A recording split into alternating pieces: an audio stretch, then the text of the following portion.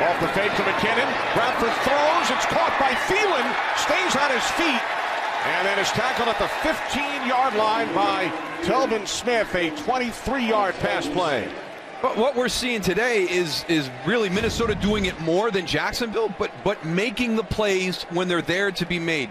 Watch this by Adam Thielen. That's a nice job by Sam Bradford. In goal, the give to Asiata, and he forces his way across the goal line for a Vikings touchdown.